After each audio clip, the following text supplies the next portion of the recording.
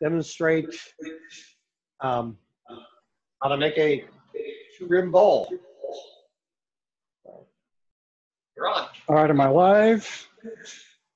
You're live. I'm live. All right. So, uh, when I started turning, um, you know, back before we had steel tools, we're doing everything with bronze tools.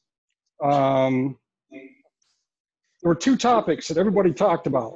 One of them was uh, how big the, the base should be on your bowl. And the other one was um, whether a bowl was, or whether the rim of the bowl came in and closed. And, and they talked about open bowls and closed bowls. And that was a subject of much, much, much discussion. So after listening to this month after month, um, I thought to myself, I had a long commute, just driving to work every day. I had a long commute, and I thought, what if I did both at the same time? What if I did a bowl that had both a, a closed rim and an open rim? Um, crazy idea that I had at the time. And I, I made a few bowls like that, and you know, not totally successful design wise, in, in my opinion so I started, you know, thinking about what what could I do with that idea, and I I finally wound up with with something that I was happy with, which is this bowl that has two rims like this. They're both open. The the, the first rim, in the contrasting color here, may be kind of hard to see. The idea is that the the shape of the bowl extends up to the first rim that, that in this case is brown, dark brown. And then in addition to that, I also have a open rim and, and not just open rim, a, a rolled over open rim. So I have one rim that's, that's sort of straight up uh, on the bowl and the other one which is rolled over. And I, I like this. I, I, I do this still. I make bowls like this. You'll, you'll see I've made a, a bunch of, of blanks here today. Um, and, and, this wasn't all just for this demo. I, I really do have you know blanks in, in various stages of this because I do this all the time. I, I do this this style of bowl where I have the the rolled over rim and I have the um, contrasting rim up here. I don't think it works unless the, the color on top is contrasting. I don't think it works in a large format uh, you'll notice that every example that I have here today is, is uh, you know, no more than, this is probably the biggest one I brought today, maybe four, four and a half inches across. Um, it works up to maybe six or eight inches across. It doesn't really work bigger than that. Um, but I do a lot of these bowls. Here's, a, here's another one. This is um, curly maple on top with some mahogany underneath. Um, there's another one with some bird's eye maple. Hmm, how do I hold that? Yeah, just trying to figure out how to hold that. And some some nice uh, exotic wood on the top. Um, oh, you're over here now. Okay, great. Um, so there you can see bird's eye maple, um, nice rim on top. There's a couple that are, that are smaller. That these are, you know, maybe two and a half inches across. Uh, I do like, I, I, make a fair number of these that are sort of uh, walnut with a maybe a curly maple rim. Um, here's one that's cherry with, uh, yeah, it might be, might be cherry with cherry on top. Uh, but there's enough contrast in the rim. Uh, I've got some, some heartwood on the cherry. Um, So I, I do a lot of these. Um, it's a bit of a production item for me. I'm not going to talk too much today about technique. I'm going to mostly try to talk about the ideas uh, in, the, in the process. Um, so I start a lot of bowls. I, if I have a, a chunk of wood, um, you can see this is, you know, not great wood. This is some hickory. Um, and I've glued on a little piece of scrap wood here, a little tenon for me to, to hold, to grasp in my chuck. Uh, I've got a lot of these little tenons in my shop. I reuse them until they're gone. Um, a piece of wood in my shop has to be smaller than this to be useless. Uh, I, I have, I have a, lot of these little, you know, little tenons uh, hanging around. Um, this one, this might be the last time I get any use out of this one, but you can see that some of these uh, are taller when I, when I first create one of these tenons, you know, it tends to be taller and I, I, you know, I shave off a little bit every time I use it um, and, and get three, four, five bowls out of it. Uh, so this is um, just glued on. I've, I've got my my piece of hickory here, which I wasn't too particular about when I when I cut it, but it's basically you know big enough to get a circle out of. I've got a, a tenon on the bottom here that that's glued on that's, that you can see has been reused at least once before. Um, and I'm not gonna I'm not gonna talk too much about that process, but of course, getting from there to here, well, we can all do that, right? I'm I'm, I'm not gonna show that, but I just you know either with a parting tool, uh, I've I've made my my square into a round um, with a parting tool or, or just with a, with a bowl gouge on the outside to cut off the corners, whatever, whatever process works for you. Um, What, what kind of glue do you use? uh, I use Titebond 2 for everything. I, I mostly am, am happy with Titebond 2. Now, I, I do also use um, uh, super glue, CA glue, uh, but not for this. If I'm if I'm doing, I use uh, Titebond 2 for any kind of uh, lamination. So here, when I'm making the top, I'm going to use, I'm definitely going to use Titebond 2 for that. Um, when I'm when I'm uh, gluing up the, the parts of the bowl that will be part of the final product. In here, where I've just got a waste block, yes, I put that on with Titebond 2. And I also, I, I buy on 2 by the gallon. And then I, I also use Titebond 2. If I've got green wood, if I'm, I'm somehow um, roughing out some green wood and I want to seal the, the, the grain, I'll use um, some of my Titebond 2 glue for that as well. I don't buy anything else. Um, I know there's products on the market uh, specifically for that, but I find Titebond 2 seals the grain. Um, and if I buy if I buy Type Titebond 2 by the gallon, then then I've always got fresh glue because I'm using some of it up to do my my uh, sealing of the grain. So here's a here's a piece. This looks you know just like this on the back. Uh, it's been it's been uh, made round. Uh, what I want to do is I want to get a, a flat surface on the front here, and um, let's start with that. So what I'm going to do is I'm going to um, do my best by eye just to get a, a flat surface here. I've got a bowl gouge. This is a, I don't know, 3 eighths bowl gouge maybe. Um, I can see that uh, this wood, this is, this is probably from the same piece of hickory that I was showing you earlier.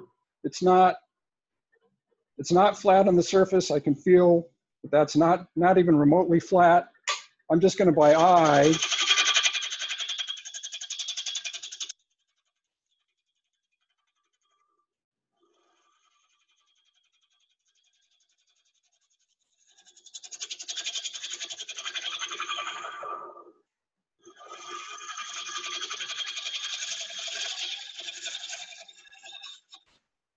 This, by the way, is gonna be the top of the bowl. This is where I'm going to glue on my contrasting wood. Um, I can see that I'm close to flat, but I can still see some raw surface here that I haven't, uh, that I haven't touched yet. Um, so I'm gonna go in and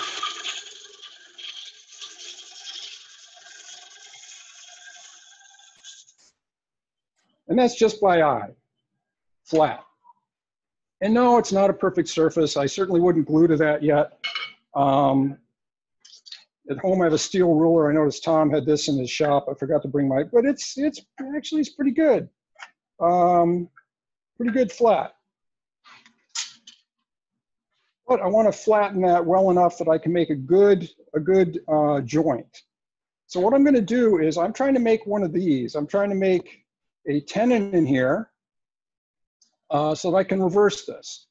Um, because I'm going to do the bottom of the bowl first. This is going to become the, the top of the bowl. And what I want is I want a tenon in here, but I want the tenon, I don't know if you can see that. The tenon is, is below the surface that I'm going to sand to.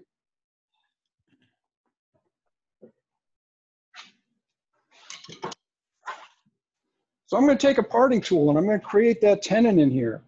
And one thing that I do is, is when I make this tenon, I used to have trouble sometimes where I would get this tenon and I would reverse the, the chuck or reverse the, the blank and I would try to grip this in my, in my chuck and it would wobble all over the place. And I, I couldn't figure out why I wasn't getting, you know, good, good reversibility.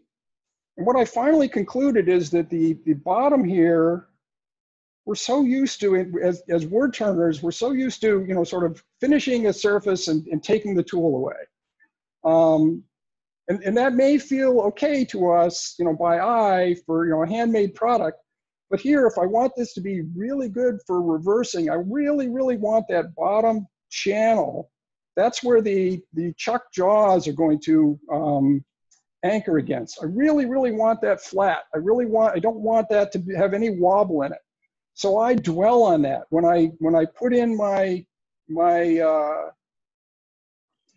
my bottom channel here that I'm going to, to anchor with, I dwell on that a little bit. I, and, and I'm, I'm, I'm going to do that. My chuck at home, also Tom's chuck here. Uh, if I just do a single width with my parting tool, that's not enough to get the chuck jaws in there. I usually do two. And by the way, one in the middle, that's where the chuck jaws are gonna, gonna land, really. So that's the one that I spend more time on. And then when I do my second width, I try to make it a little bit deeper. I try to angle out just a little bit. Also, I don't know if it's, it's possible to show this, but, but I've got my parting tool. I've got one end of my parting tool up here on the um, tool rest, but I put the I put the handle of the parting tool right down on the the lathe ways. I put it right down here, and I I pretty much with my right hand I'm holding on to that handle, but I'm I'm I'm not using my hand to make a flat surface. I'm really I've got the bottom of the the, the end of the handle here. I've got right on the the uh, the ways of the lathe, and that's rock solid. That's not going to move. So when I'm cutting this, I'm going in by eye. I'm thinking about, you know, about how big are the jaws on my chuck. I come in here.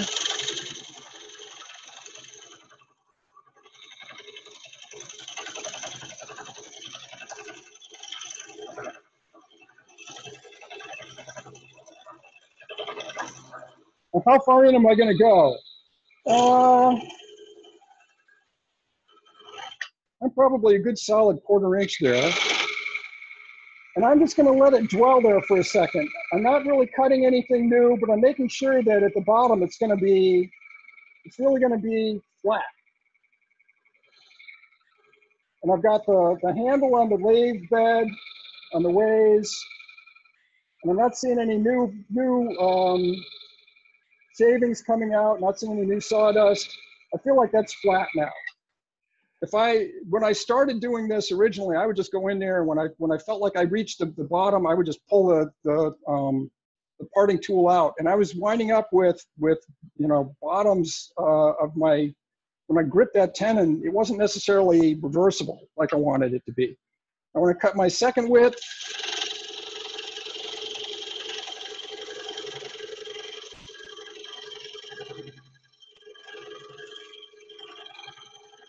I'm kind of at the same point, but I don't want that to be where the where the uh, the jaws land, the the the uh, the chuck. I don't want that. So I'm going to actually go a little bit more. I'm angling out a little bit. It's not really evident when you look at that, but what I have is I have a I have a flat section of uh, where I want the jaws to land on in the middle when it grips the tenon, and then on the outer side, uh, it's a little bit, a little bit deeper so that the, the jaws are not anchored, you know, somewhere in the middle of that channel. They're, they're right at the, right at the uh, edge of the, the tenon. That's where I want it to be. And I usually come in just because I'm going to flatten this. I'm going to flatten this with sandpaper. And I don't want this thing in the middle to be in the way when I'm doing my flattening. I'm not going to be doing, I'm not going to be gluing anything to that. And you know, if if if there's anything proud here in the in the in the middle on that tenon, that's going to get in the way of my sanding.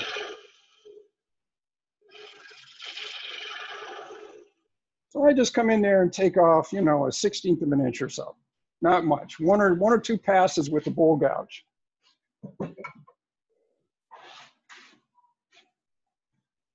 Now I want this part here, this is where I'm going to be gluing my, gluing my second layer, my contrasting wood.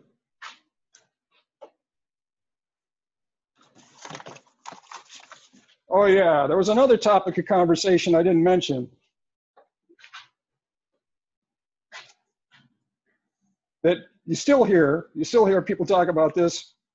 Oh, I don't use any 80 grit paper. I start with, I, I start my sanding at 220. Everybody's, but, but I will admit, I will, I will confess that I have some 80 grit paper in my shop. This is what I use it for. I get a, a flat piece of wood,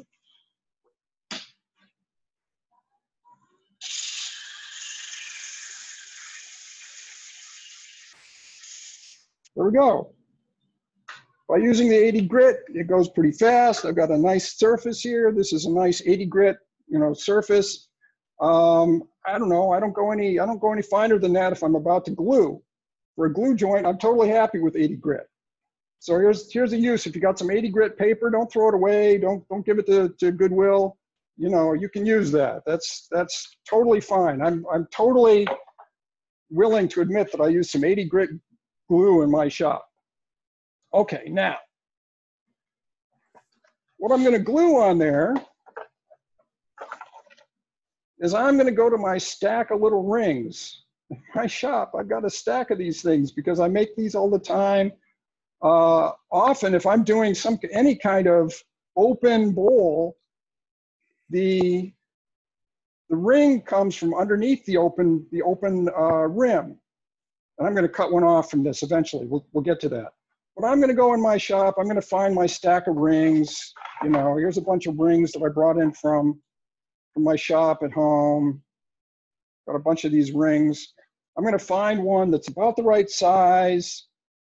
And by the right size, I mean smaller than the rim of the bowl for what I'm doing here, with good contrast on it. Actually, none of these are small enough, but at home I've got more I've got more of these. So I go to my big stack of these rings and I find the one I want. How do you make those? I'm gonna I'm gonna show that. Okay. I'm gonna show that because because there is some uh, technique to that.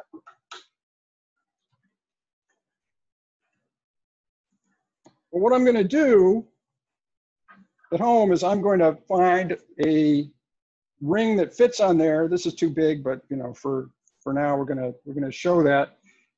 I'm going to find the one that I want that does fit. I'm going to put some glue on this surface that I made nice and flat. I'm going to put the ring on top of that. And then, well, I'm going to take some other bowl blank and put it on top of the, the whole thing, make a big sandwich that I can clamp together. Or maybe if I'm making enough of these things, I'm going to have two of these. I'm going to have two of these things, both with a ring glued onto them, I'm going to sandwich them up together with two rings in the middle, and I'm going to clamp that together. And that gets me one of these. So you can see I'm in the same point here. It's just that I've got now my new ring glued on top, and this is contrasting. This is going to become the second, what I call it, think of as the second rim. And down here, this area here is all going to be waste because the top of the bowl is here. So underneath the top of the bowl, I've got this rolled over rim. I'm going to have this area here that's just waste. Well, that's going to be a new ring. I can take a ring out of there. Where do all those rings come from?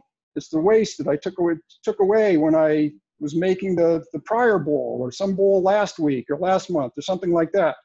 I'm going to use this tenon now, this tenon that I made when I was creating the flat area where I could create, where I could glue on my new ring, now I'm gonna take a ring off of this.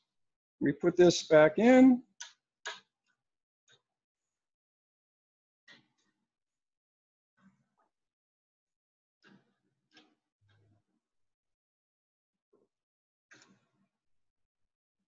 Okay, I've got my bowl reversed. Now I'm looking at the bottom of the bowl, what will become the bottom of the bowl. I've still got my tenon here that I used when I was flattening this one, the top of this one, and I'm gonna take a ring out of here.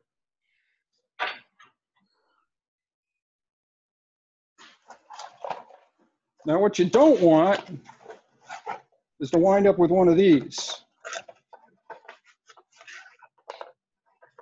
All right, here's one that didn't work. And it's very easy to make one of these. It's very, very easy to make a split useless ring. How do we make sure we get a good one? Well, I'm just gonna, I'm just gonna true up the outside surface here.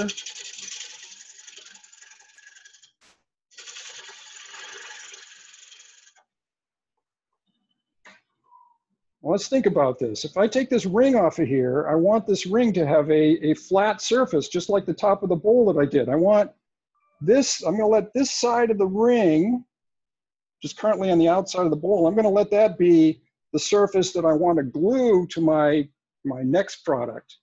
So I need one side of my ring, every ring that I've got here from my stack in my shop is one really crude rough side and one very nice sanded side that, you know, that has a good surface on it that I can glue to something else and get a good joint.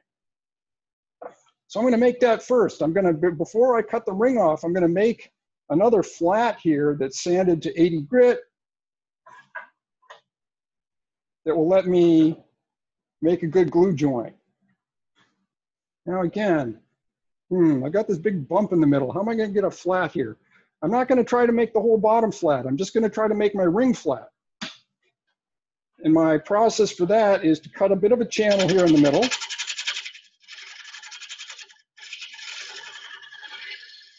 If you can see that or not, but I'm cutting a channel that's, that's you know, deep enough. When I make my flat area out here,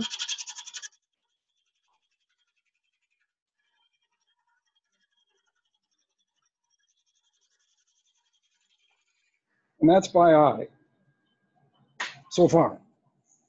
So I've got my ring surface that I'm going to use as my flat surface once I get that sanded, and I've still got a channel in here that's deeper than my deeper than my flat.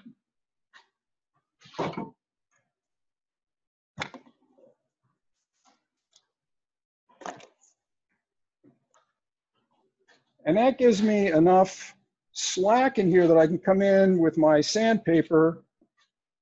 Uh, maybe we want to go to the other, the other camera here.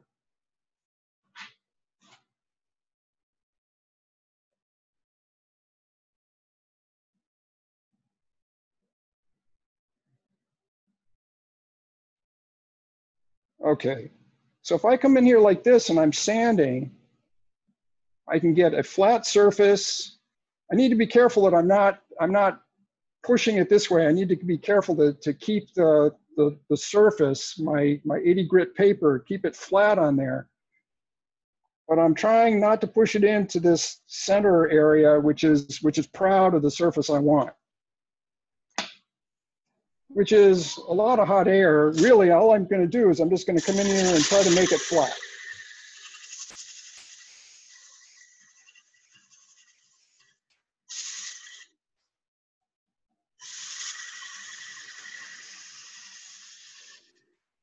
That feels pretty good to me. Let's check it.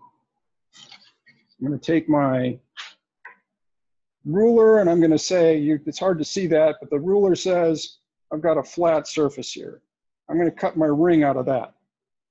And the ring will have one flat side that's flat and good and gluable.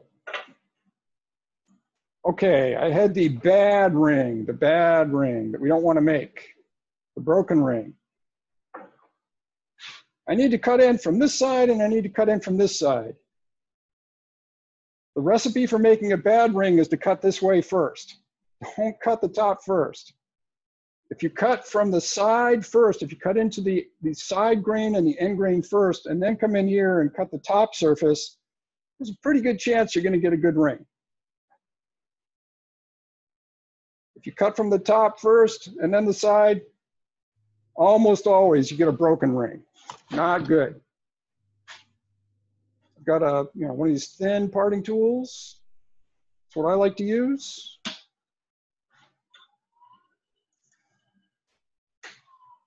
Now, while I'm doing this, I'm, I'm picturing how much the, the rim is going to roll over. And I could go pretty thick here. I could, I could actually, you know, come out here and, and cut maybe half inch thick ring. I mostly don't use half inch thick rings. And really, you're only going to get one ring out of this. So I come in, I don't know, 3 eighths inch.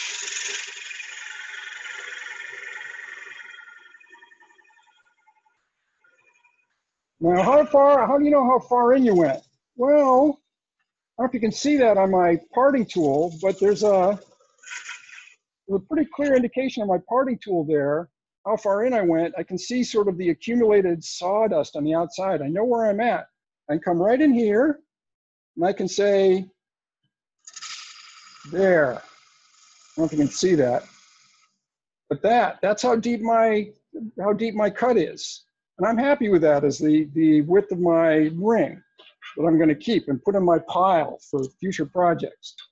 So I've marked it off. I know how far I, in I can go. You wanna avoid cutting in too far and having to come back and do this one again, because if you do that, you're gonna make one of those split rings. Hate it when that happens. I really want a complete ring. So I'm gonna come over here.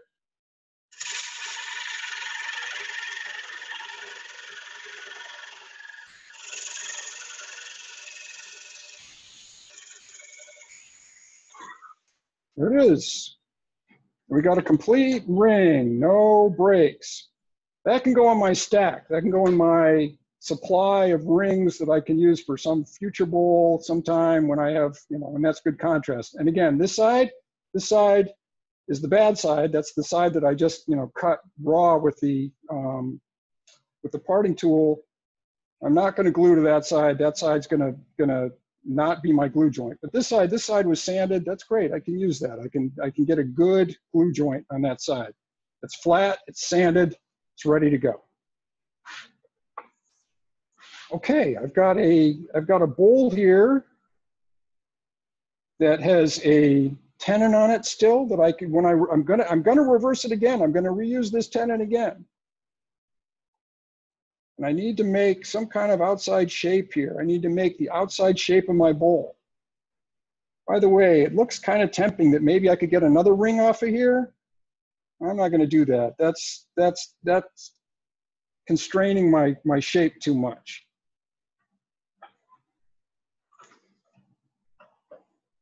Now, when I'm kind of cutting this outside, or I, I, tend to think of it as the bottom, the bottom profile, I don't know if we can get this camera here, Tom.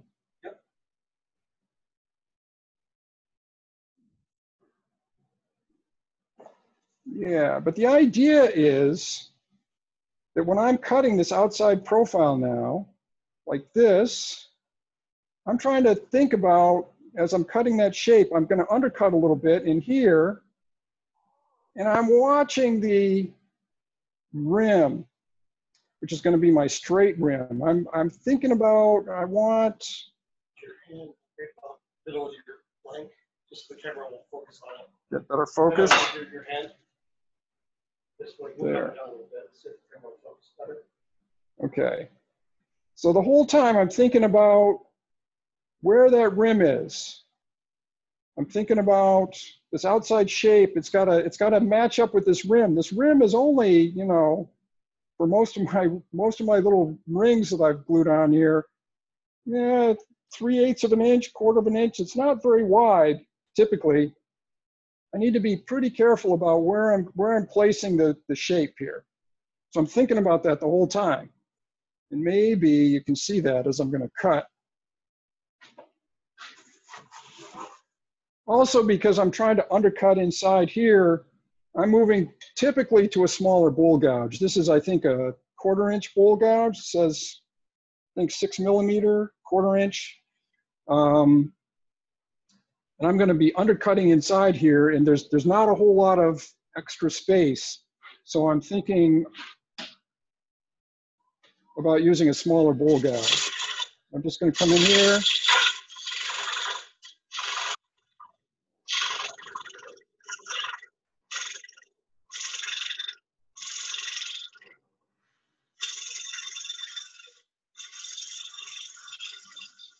By the way, I'm also expecting that I'm going to roll this rim. This, this top rim is going to come down a little bit.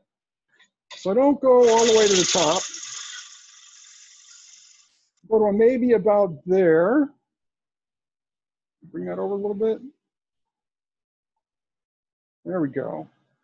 So I've still got some, some portion of the outside that hasn't been final cut. I've got some surface here that's going to be the outside of my rim, but I still want to excavate in here a little farther in so that I wind up with this undercut droopy rim that I like.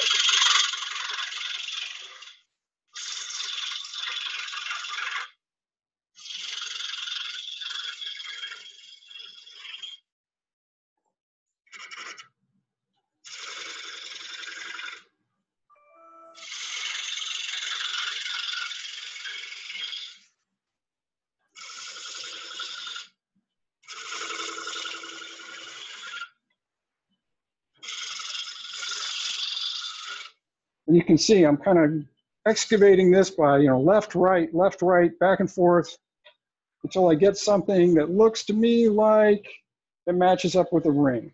And you can see there that the ring and the outer profile kind of match up. That's what I'm looking for.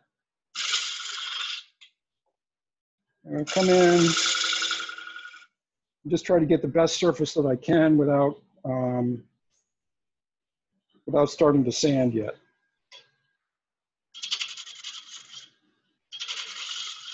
And of course, at this point, you know, I've already reversed this once. I don't know if I really trust this, this tenon to be in exactly the, the same place. Before I reverse this, I'm gonna come in here and I'm gonna touch up this tenon just a little bit. Just take a little shaving off there to try to get a good tenon that I believe to be really centered right now. And I'll also come in here, eventually we're gonna, we're gonna wanna be able to recenter on uh, a, a live center on this tenon uh, when I do the final or removal of the tenon. So I try to give myself a little target on there. Try to give myself a little, little dent in there that I can place my live center into. That's it. That's the outside bowl shape. Now this, yeah, this is really soft maple. I'm not getting a good surface here. I, I would definitely come in here and sand this at this point. Um, yeah, not the best wood to be demoing with. This is very soft maple. Um, but if I, I'm, I'm gonna I'm gonna switch blanks here. Uh, I'm gonna cheat and switch blanks to another one that I prepared earlier. But uh, if I was if I was taking my time on this, I would I would probably go back one more time with a bowl gouge and try to get a better surface on that. But but if I had a surface that I liked, I would sand at this point. This is my opportunity to sand the outside. Uh, I sand the outside eh, probably down to about 180 or so. And in my shop, my convention uh, right now is I'm sanding the outside down to about 180 before I do the reverse. And then final sanding will be uh, reversed. When I also sand the inside. So if that was sanded, it would look like, like this one. Oops. All right, so here's one that, you know, I've, I've gotten to the same place. Uh, this is cherry, this has been sanded. Uh, I've got bit of a rim here that's gonna be the final surface. The whole outside of the bowl is the final surface. I've got a nice tenon that I've touched up and put a little, little uh, key on for, for later. Um, this is the this is the outside shape of the bowl. That's that's it. I've I've sanded down to I think probably 180 on this, like I said. Uh, and now what remains is to do the outside here, the the top side, the top side. Again, this is the bad surface of the ring. The good surface of the ring is glued to the good surface of the top of the bowl. I've still got my tenon on the inside that I'm now done with. I used that when I was doing the, the bottom of the bowl.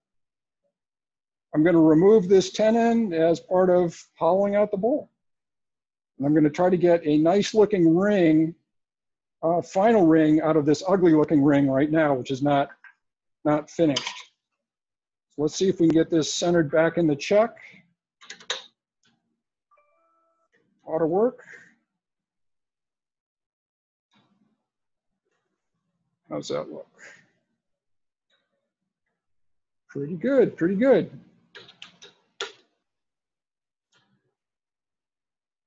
Just gonna tighten that up.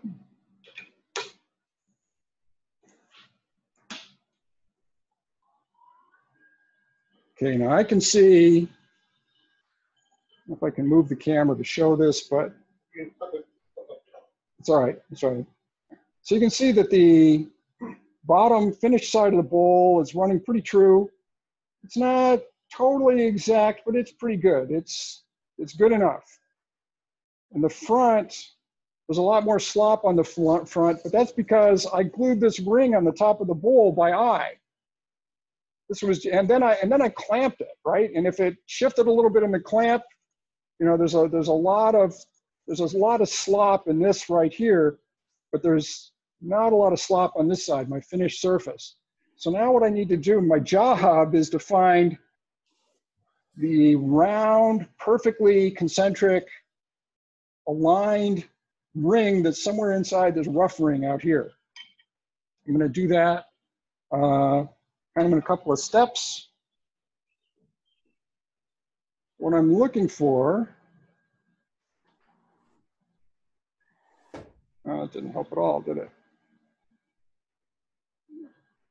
All right, I'm gonna move this. Can I move that a little bit? Yes, I can. Good. Okay.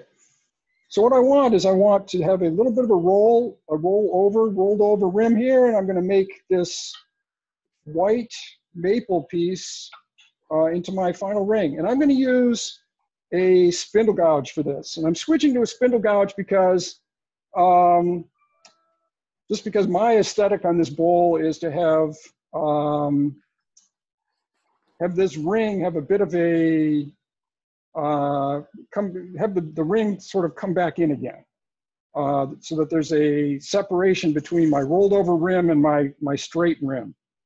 I'm gonna come in here.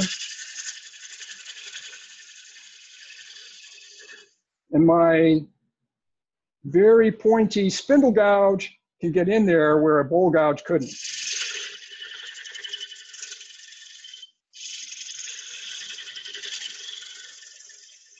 And I'm just following in here. What I don't want is I don't want this rolled over rim to have any white on it. And so if I see that I don't have a, you know, if the joint isn't totally lined up well, uh, I try to, you know, hide that in here. I want my wide rolled over rim to be all solid cherry and then this rim up top here to be all solid maple. And I can see that the, the profile of the bowl, that the profile of the inner doesn't quite line up with this outside as well as I would like.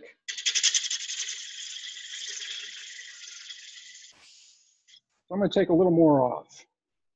So it looks like it's in about the right place for me. Something more like that, in fact. Just a little more.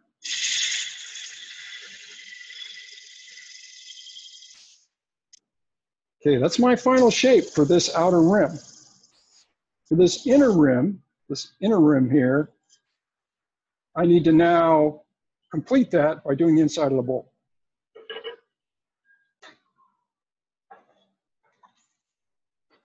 So now I'm going to switch to a more conventional sort of outside bowl, bowl gouge technique on the inside here. This rim's getting, oops, lose it? Yeah, okay. So with the other with the other camera here, you can see that you know there's not a whole lot of meat on this rim. I I sometimes cut it kind of tight, uh, but the, the top surface here is not finished. The outer surface is finished. It should be sanded, of course. I, I would sand it. Um, not now. I'm going to sand sand the whole top at once, but but now I'm going to come in and try to to get a nice surface, nice finished rim out of that. I'm switching back to a bowl gouge.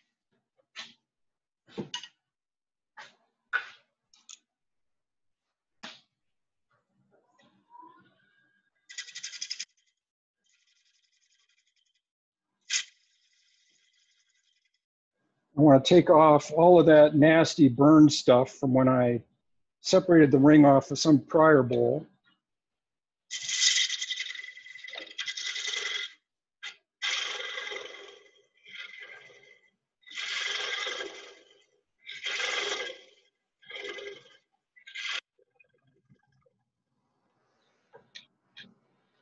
And I can see that Tom's lathe is not quite shaped like mine. So this feels a little funny to me. Let's see if we can do it.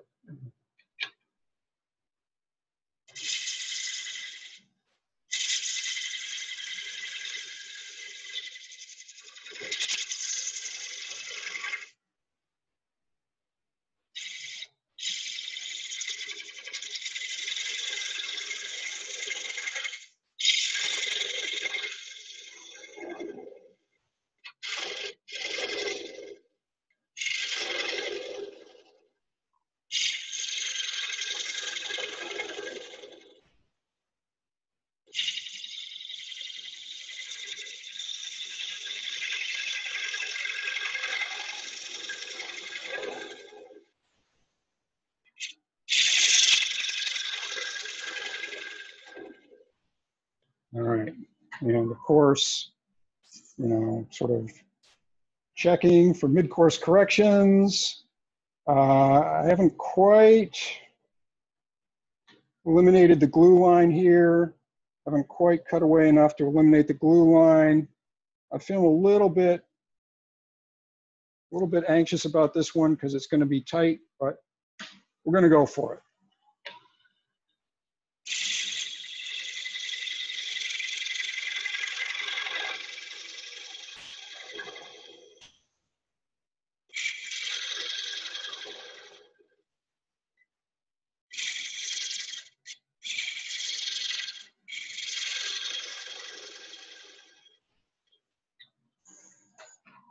And that might be it. That might be uh, a little deeper would still be good. I'm going to take a couple more passes on this. A little more depth.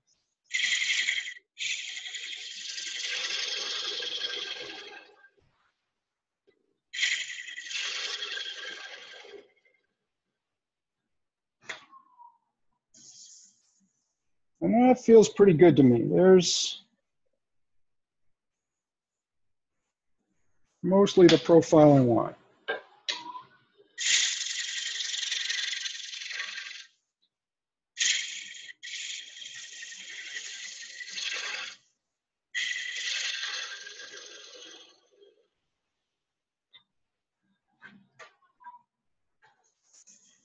Okay. Now at this point, again, I'm not going to bar, I'm not going to bore you all watching me sand, but I would sand this. I'm, I'm going to sand to my final, um, final surface.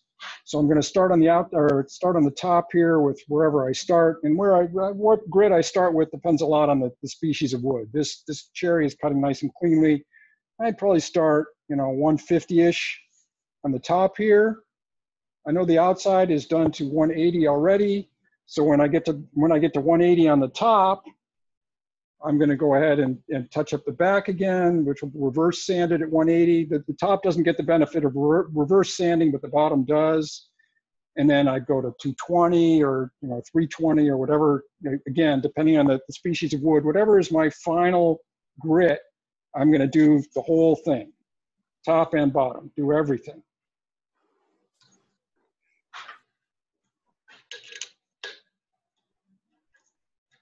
which gets me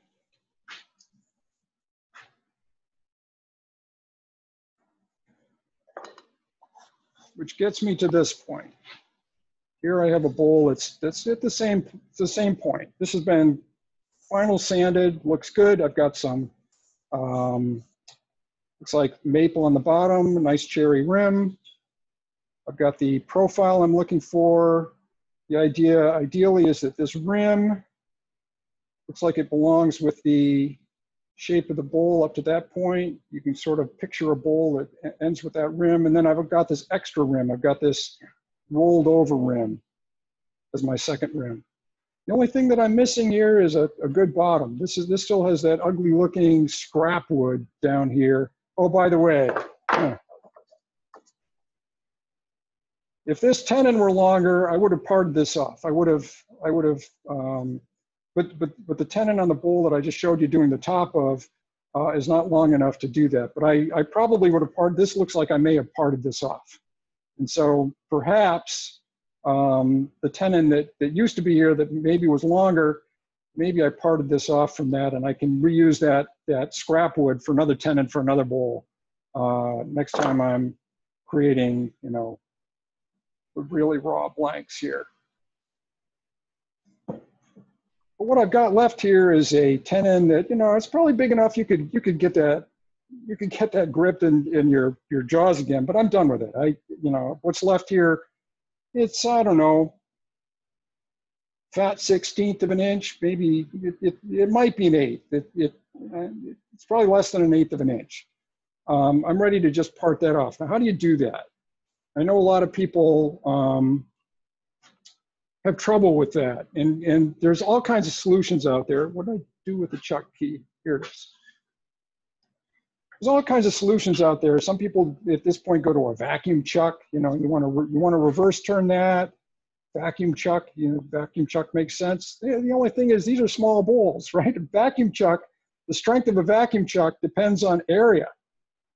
And this is a small bowl. You could you could probably hold this with a vacuum chuck, but you know it, it's it's not the ideal candidate for a vacuum chuck because it's so small. Well, back in the day, vacuum chucking was a bit of a new idea. I, I taught myself to do this sort of thing just with a just by jam chucking it. So I'm going to show that. I've got some other bowl some other thing. This is the one that, that I, I showed you earlier that I, I sanded this off. I know this surface is flat. Uh, if it hasn't moved, oh, it still looks flat to me. Uh, looks good. So let's jam chuck this thing and I'll show you removal of the final leftover tenon here. Because I know a lot of people get anxious about that.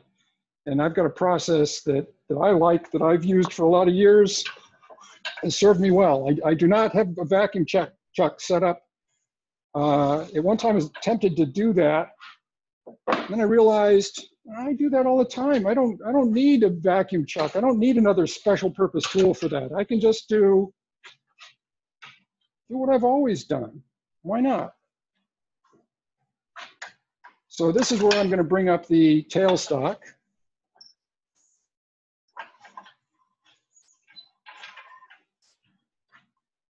And this, this is the bowl. I'm going to try to move that tenon on.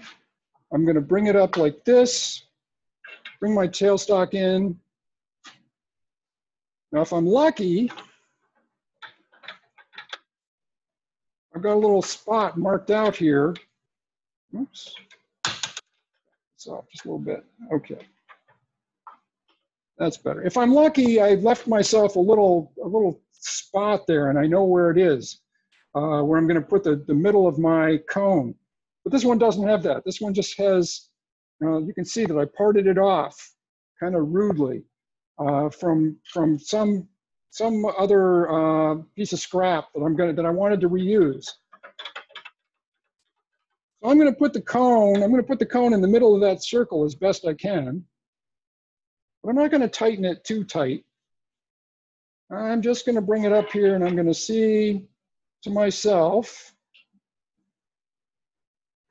Uh, let's go. Let's go with this top camera again. Switch back to that. Great. Okay. So I'm going to come out here and I'm just going to turn this by hand and I'm going to say, does that seem centered? And I see a little bit of wobble in that. And, and my process for, for centering that better is to turn it until I see the biggest gap between the, the, the, um, the rim and my thumb. Maybe this camera angle isn't totally showing you that. But there's a gap. There, there it's touching my thumb. Now there's a gap. Now I need to know, I know I need to move this bowl closer to my thumb by half that distance. So I loosen up my tailstock and I recenter. And yeah, it's still not quite there. So I, again, I found the biggest gap I'm gonna move it closer to me by half of what I think that gap is. And again, this is all by eye. But if you do that two or three times, within two or three times, I can get that really, really close to centered. Now again, we're all used to the idea that, you know, we're gonna use the chuck, we're gonna use, we're gonna use centering. I just centered that by eye and I came really close.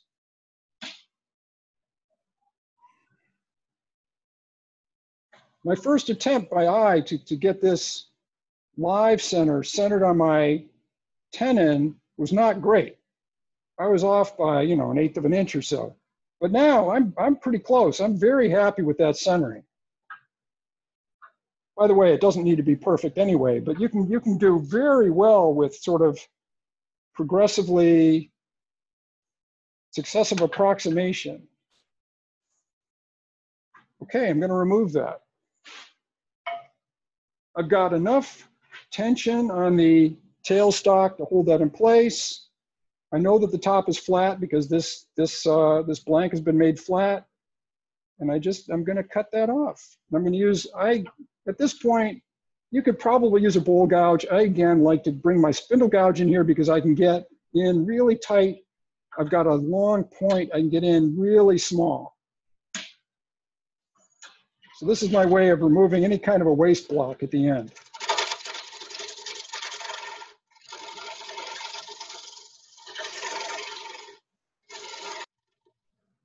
move this out a little bit. There, maybe you can see, I'm down to, I don't know, quarter of an inch.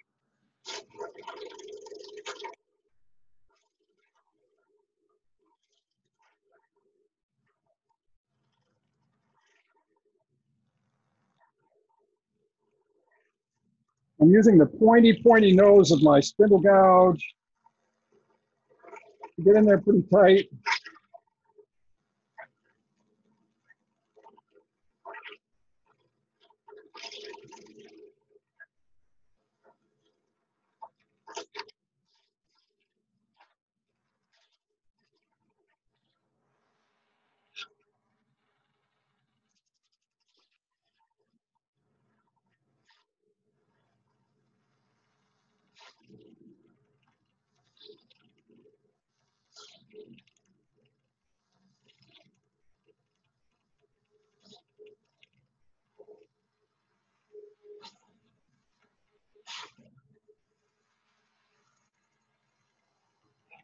Okay.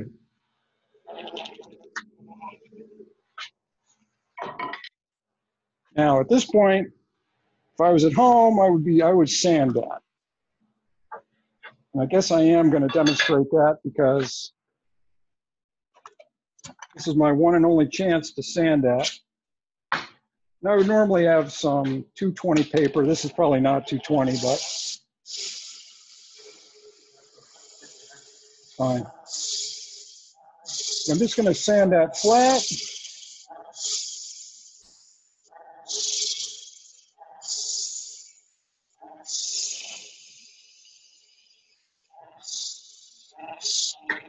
I did a decent job. Doesn't take very long. Okay, now you ask, what about this little nub right here? How big is that little nub?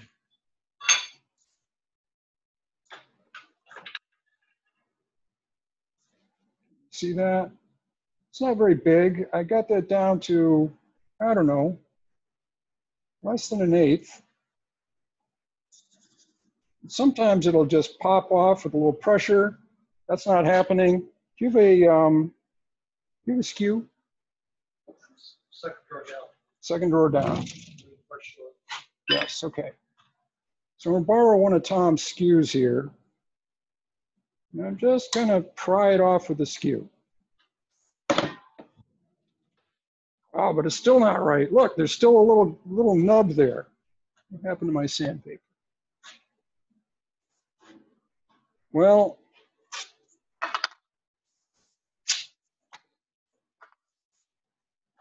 oh, I do have my sandpaper here. That's okay. So I've got, I've been doing this long enough that I've probably developed a little callus on the end of my thumb, and I can do this. Uh, I recommend that eventually you, develop that callus. Here's my way of solving that little nub at the end here. And I just cycle around.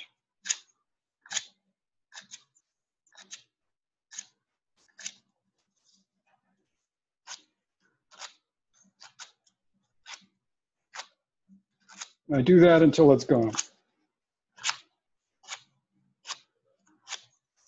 And this turns out to be hard maple and it's taken me longer than I would like, but you can see what I'm doing. I'm pressing hard with my thumb. I'm pulling some sandpaper through.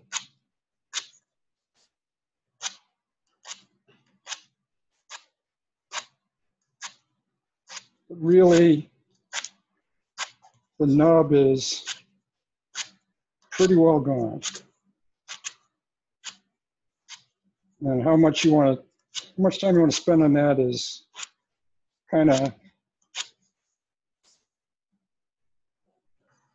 how much of a perfectionist you want to be. But that's a flat, but oh, you have to switch the other, but that's okay.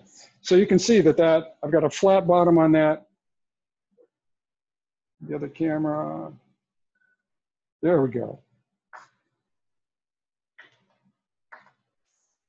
That's it. A nice clean bottom, clean bowl, all done. All right, obviously we have defective equipment here because I didn't hear any questions. Or Tom has muted everybody. Are there questions on this? Happy to take any. I have one question. Yes, who was that, Ron? Ron, yeah, okay, so when you glued the ring on, did you pay attention to the grain? Yeah, I, I usually do. Um, and sometimes the, the grain um, is a factor when I'm choosing what ring out of my stack of rings in my shop uh, to use. Um, so yeah, I, I try to make the, I try to be mindful of the grain. So you align the grain. Um, yeah, but but again, it, it's very clear that these are two pieces of wood. They don't match. Uh, the, I, I can't align the grain perfectly. I can make the grain be in roughly the same direction. That's what I meant. Yep. But again, I think if you did, if you, if you, for some aesthetic, you know, made the aesthetic choice that you wanted the grains to be at right angles to each other, um, al- although, you know, you might worry that, that those, uh, two pieces of wood won't, won't, uh, that the, that the, um, the glue joint might ultimately fail because you did right angles, you did perpendicular joint instead of a parallel joint. Um, these rim, these rings at the end, the, the, the, uh, the amount of wood in this ring is very small. And it, it's, it's, so it, it's very flexible. So I, I think you could do that. Oh, another thing I finally, I, I, I should mention, I had this pressed up against here like this with a little bit of pressure. Sometimes you wind up with a, a rim that's burnished a little bit from, from that final operation of removing the, the, uh, the tenon on the bottom. I usually take some, I don't know, 400 grit sandpaper, and just kind of lightly remove any kind of burnishing that happened on the top here uh, before I put finish on. Sometimes, sometimes that'll that'll show through the, the, the finish if you don't do that. So I, I've I've learned to just I you know usually have a, a couple of pieces of really maybe 400, 500 grit paper and just sort of do a quick just to take the burnish off. I can see a little bit of burnishing on the top of this cherry. Cherry, cherry shows it a lot. So I usually do that. So what's your finish of choice? Um, so it depends on the species, but a, a lot of times, uh, sort of my, my go-to finish, my main finish that I use most of the time is I, I buy the um, Seal-A-Cell product, which is a, a wiping varnish, wiping, wiping lacquer, wiping varnish kind of thing. Uh, general finishes, you can get that at Woodcraft. Um, I do, depending on the the species, I'll do two, three, four coats of that, uh, rubbed out in between each one with some some steel wool, um, and then usually finish with some kind of a, a, a top coat that's that's mostly wax. Uh, I, I mix up. Um, I mix up some wax. Again, the, the formula varies from time to time, but I usually have some beeswax in there. I put in a little bit of, of carnauba wax for you know a harder wax finish. Put some kind of oil in there, which could be tung oil, which could be walnut oil, which could be you know any kind of uh, sort of finish oil, oil finish. Um, I'll mix that up in a glass jar and I'll put that in the microwave, not on full power. I put it on like you know I, I'm, I'm, I'm a little worried about my microwave, but I'll, I'll put it on like, you know, third power or a quarter power and slowly heat it up until the, the wax melts and then stir it, take it out of the microwave, stir it and, and let it harden on the counter. And I wind up with a soft wax that I can uh, apply as a top finish.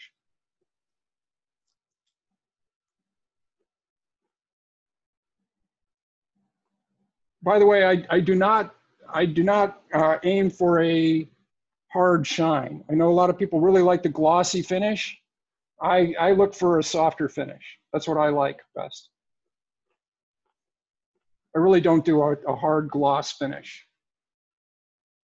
That's not my aesthetic. Have you tried diatomaceous earth and mineral oil as a rubbing compound? Um, I, I know what you're talking about. I've seen that. Uh, no, I haven't tried it. I've, I've, you know, my, my finish process, um, is something that I settled on probably 20 years ago and, and haven't looked back.